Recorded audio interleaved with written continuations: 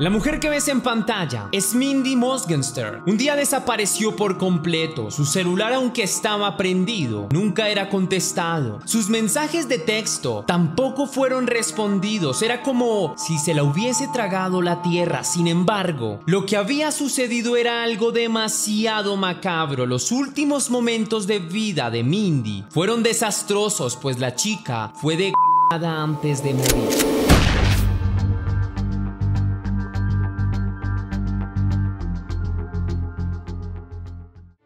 Pero antes de comenzar con este caso, quiero hablarles del sponsor de hoy de la VPN de Surfshark, que ofrece un servicio maravilloso, en especial para aquellos que, como en mi caso, disfrutan de ver de películas, documentales de True Crime, pues con Surfshark podrás acceder a contenido que no está disponible en tu país. Usando esta VPN podrás cambiar tu ubicación de forma sencilla y accederás a muchos documentales de True Crime que no están en tu país o cualquier otra película. Y como si fuera poco, puedes navegar con absoluta tranquilidad pues tus datos personales están protegidos. Esta es la VPN que utilizo para investigar sobre los casos que vemos en el canal, así que siempre está bien contar con una muy buena herramienta y esa es Surfshark y como cereza al pastel te ofrece un antivirus que protegerá tu navegación. Ahora bien, tendrás más beneficios como encontrar vuelos más baratos que de costumbre si esto te interesa.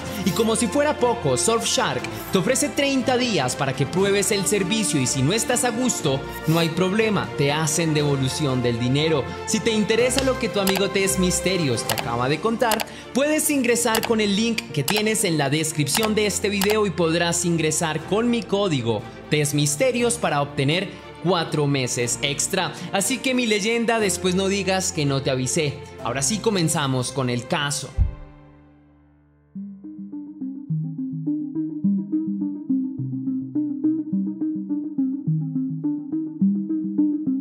El caso de hoy tiene como epicentro Valley City, una pequeña ciudad de Dakota del Norte en Estados Unidos. Esta pequeña ciudad del país norteamericano no es demasiado concurrida y tiene muy pocos habitantes. A lo largo de su historia no ha sido foco de atención casi nunca. Sin embargo, en el año 2006, Sucedió algo que la puso en el ojo del huracán. El 13 de septiembre de aquel año, Tony Bauman y Daniel Holmstrom se habían tratado de comunicar con una de sus grandes amigas en varias ocasiones, pero ella no contestaba ni los mensajes ni las llamadas. Esto era algo bastante inusual, ya que ella siempre respondía rápido y utilizaba su celular con bastante frecuencia. Sin embargo, lo que más preocupaba a las dos jóvenes eran las enfermedades que padecía su amiga Mindy, y es que ella padecía de esclerosis múltiple y por tanto, sus dos amigas siempre estaban pendientes de ella para tratar de auxiliarla en lo que ella necesitara. Cuando las dos jóvenes vieron que era imposible contactar con Mindy, se preocuparon, pensaron que algo malo le había sucedido. En consecuencia, las chicas decidieron ir directamente hasta el apartamento en el que vivía Mindy y que quedaba fuera del campus de Valley City State University, universidad en la cual las tres jóvenes estudiaban. Una vez delante del apartamento de Mindy, las jóvenes tocaron la puerta y trataron de llamar a su amiga, pero del interior del inmueble no se escuchaba absolutamente nada. Antes de decidir retirarse, las jóvenes se dieron cuenta de que la puerta no estaba asegurada y luego de un rato pudieron entrar. Las dos amigas no alcanzaron a dar más de dos pasos cuando se encontraron con algo que las dejó totalmente heladas. En el piso yacía el cuerpo de Mindy en esas pequeñas fracciones de segundos que pasaron mientras habían visto el cuerpo y habían corrido hacia él, pensaron que tal vez estaba desmayada o que tal vez hubiese muerto a causa de sus enfermedades de manera repentina. La realidad que descubrieron cuando estuvieron lo suficientemente cerca al cuerpo fue radicalmente distinta. La habitación estaba llena de sangre que brotaba del cuerpo de Mindy. La joven tenía una profunda herida alrededor del cuello. Mindy había sido asesinada. El impacto para las dos jóvenes fue enorme y su horror se hizo presente aquella noche y los gritos que ambas proferían alertaron a los vecinos del edificio. Cuando las personas se enteraron de lo que había ocurrido, llamaron inmediatamente a las autoridades y en cuestión de escasos minutos el edificio estaba totalmente rodeado de patrullas y de oficiales que acordonaron la zona.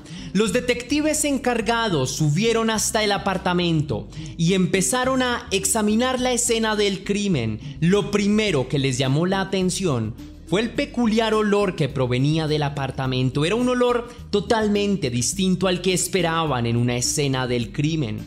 Olía a un tipo de particular aromatizante de pino utilizado para la limpieza. Ese fue el primer indicio para las autoridades de que alguien había tratado de limpiar la escena del crimen. Adicional a esto, los detectives encontraron un cinturón que rodeaba el cuello de la víctima y también un cuchillo al que se le había roto la hoja probablemente por la fuerza con la que se había utilizado, pues la joven tenía una profunda herida en su garganta, aunque más que herida, sería más preciso decir que fue un intento de decapitación. Las autoridades se dedicaron a estudiar las posibles variables de este crimen. En primera instancia, descartaron que se tratara de un crimen en el que estuviera involucrado algún enemigo de la joven. La víctima era una joven normal y a quienes las personas cercanas a ella apreciaban profundamente. En segunda instancia, las autoridades descartaron que se tratara de un robo. Todas las pertenencias de la joven estaban en su sitio y de la casa no habían extraído nada importante o al menos así lo consideraban las amigas de la joven. Aunque el apartamento estaba relativamente desordenado, las autoridades creían que este se podía haber producido durante el asesinato de la víctima y posteriormente cuando el agresor trató de limpiar la escena del crimen. Después de levantar el cuerpo, se hicieron los procedimientos necesarios y se confirmó la identidad de la víctima, Mindy Morgenstern, una joven de 22 años. Luego de esto, las autoridades informaron sobre el asesinato de la joven a sus familiares. Pero, ¿cuál era la historia de Mindy? ¿Quién era la joven que había sido asesinada en su propio apartamento?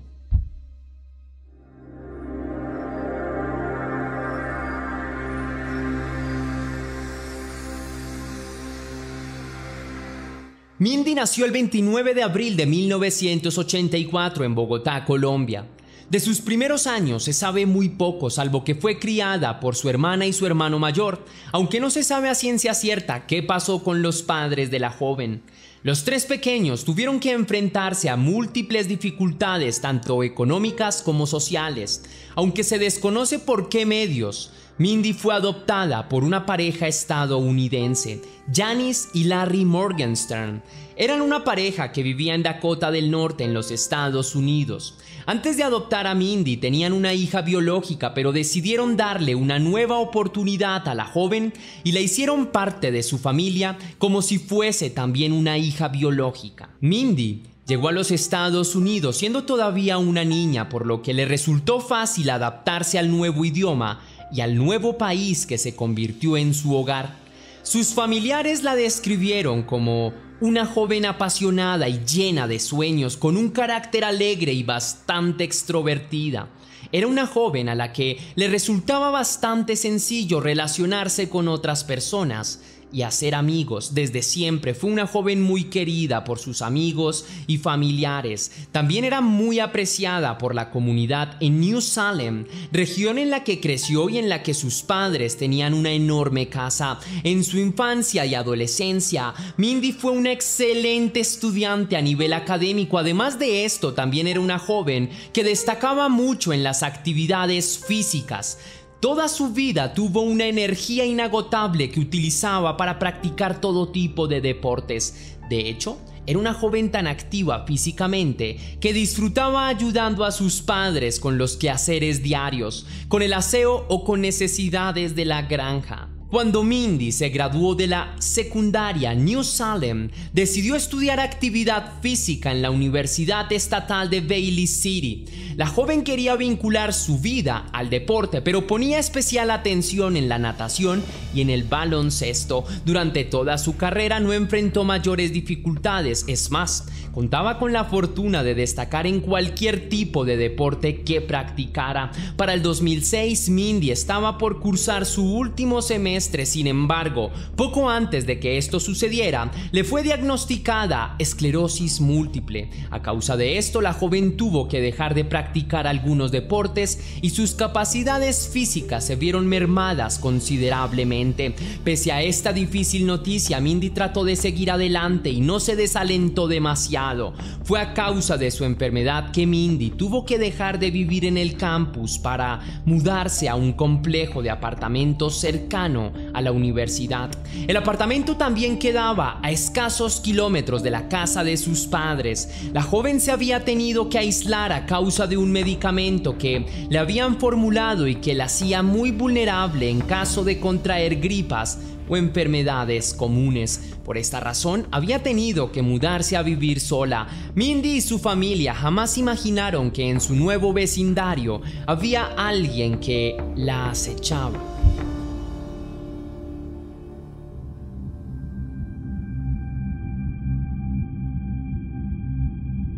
Las autoridades habían empezado a trabajar arduamente para tratar de identificar al asesino de Mindy.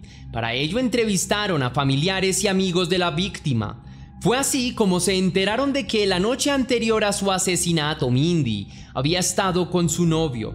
La joven había vuelto esa madrugada a su apartamento. El novio de Mindy dijo que él había hablado con ella la mañana siguiente y le había dicho que se encontraría con un amigo en la biblioteca de la universidad. Los sistemas informáticos de la universidad detectaron una conexión del joven durante toda la mañana del 13 de septiembre. La joven habría abandonado el recinto universitario aproximadamente a las 12.30 del mediodía. Luego de esto, las autoridades trataron de confirmar si la joven había llegado sola a su apartamento o si había alguien que la hubiese acompañado.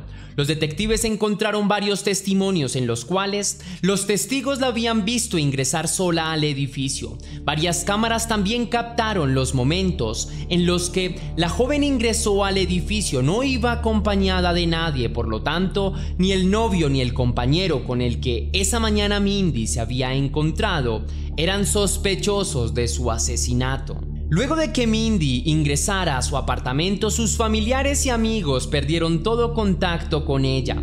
La joven no respondió llamadas o mensajes desde las 12.50 pm de ese día. Su cuerpo fue hallado a las 9 de la noche por sus amigas. Las autoridades creían que el asesinato se había producido poco después de que la joven llegara al edificio. Los detectives buscaron en las cámaras de vigilancia para identificar si algún desconocido había ingresado al edificio de Mindy ese día pero nadie lo hizo. Tampoco lo hicieron conocidos de la joven salvo sus amigas cuando encontraron su cuerpo sin vida. Esta información les dio un indicio importante a las autoridades. Era probable que el agresor viviera dentro del mismo edificio. Por un tiempo las autoridades no tenían forma de averiguar quién había sido el asesino de Mindy, pues no habían testigos. No obstante, en el momento más inesperado, una pista llegó para cambiar el curso de la investigación.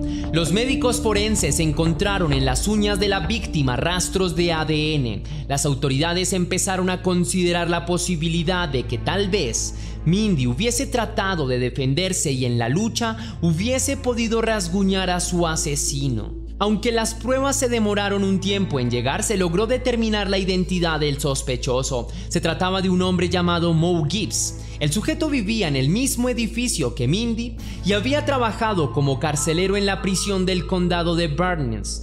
Los antecedentes del principal sospechoso del asesinato de Mindy resultaron bastante confusos para los detectives. Puesto que para ocupar un cargo de este tipo, las personas debían tener antecedentes penales totalmente limpios, aunque esto no hacía de Mo Gibbs inocente, al menos despistó durante un tiempo a las autoridades. La confusión de los detectives fue todavía más grande cuando interrogaron al sospechoso. El sujeto parecía tener una coartada creíble y aunque dijo que aquel día no había estado en casa, sino que había estado buscando un nuevo apartamento para poderse mudar con su esposa embarazada, en realidad el hombre no pudo confirmar su paradero durante las horas que las autoridades creían que se había producido el asesinato de la joven. Por tal motivo, las autoridades lo siguieron investigando de cerca. Al recabar más profundo en el pasado del sospechoso, las autoridades descubrieron información muy importante. El sujeto se había cambiado el nombre en el año 2005. Antes de eso se llamaba Glenn Dale Morgan Jr. con el nombre anterior del sujeto. Encontraron otros antecedentes. Las autoridades descubrieron que el individuo había estado en la Marina de 1990 a 1999 y que había sido condenado por un tribunal militar por intento de asesinato premeditado.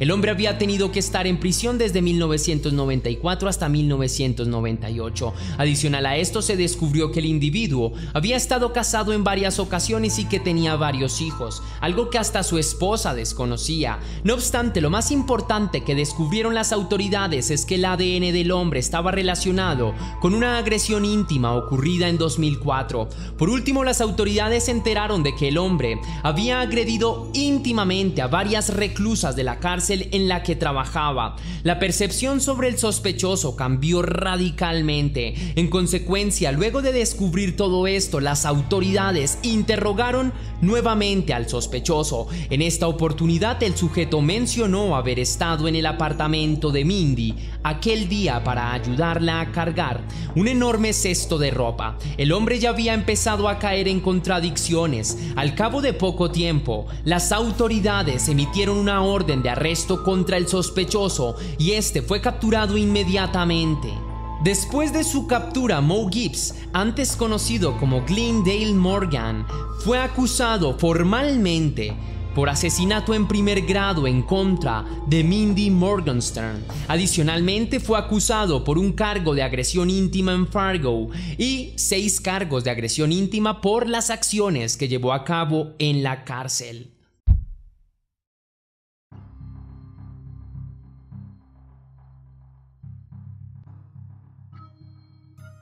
El juicio contra Mo Gibbs empezó en el año 2007. En todo momento, el sujeto defendió su inocencia y dijo que no había tenido nada que ver con el asesinato de la joven. La fiscalía, por otra parte, mencionó que el hombre había asesinado a Mindy luego de que ésta rechazara sus proposiciones íntimas. La fiscalía mencionó que Mindy trató de defenderse y le ocasionó al agresor rasguños en la mano.